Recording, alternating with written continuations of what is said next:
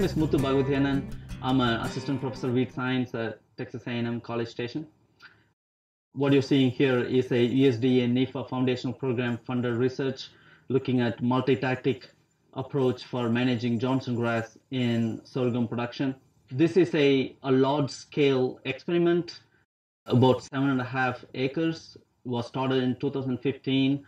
It's been ongoing for four years, and this is our final year of data collection. We are particularly looking at the above ground densities of Johnson grass, mainly the number of plants, uh, both rhizomatous as well as seedling Johnson grass that are establishing in each of the fields, as well as the soil seed bank size over a period of the four years in each of the plot. For example, in these plots with the standard treatment, uh, we are expecting to see a huge increase in soil seed bank size, and you can already see the uh, increase in above ground population of Johnson grass.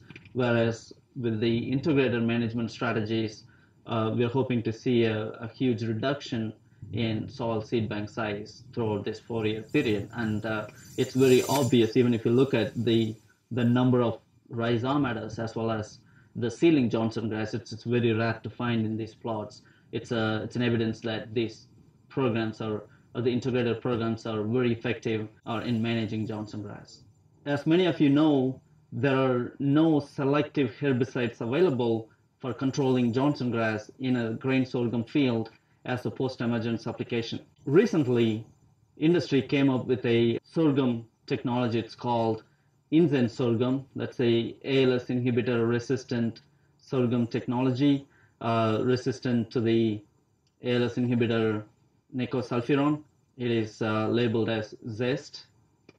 So what we're trying to do here is in this InZen technology, we want to see how best we can effectively manage Johnson grass with a, a pre-emergence application of atrazine followed by a post application of nicosulfuron at 4 to 6 inch weed sizes. And we included a glyphosate desiccant at the time of crop harvest that really helps with controlling Johnson grass that had escaped the previous applications.